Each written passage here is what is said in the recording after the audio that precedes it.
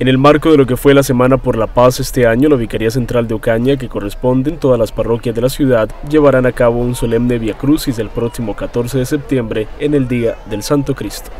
El día 14 es la fiesta con los nazarenos, la fiesta del Cristo, que nos recuerda que a través de la cruz, la pasión, la muerte y la resurrección, Jesús nos reconcilió.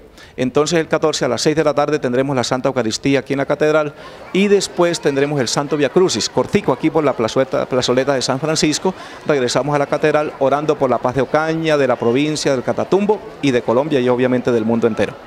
Toda la comunidad está invitada a participar del Santo Via Crucis que tendrá como tema fundamental orar por la paz.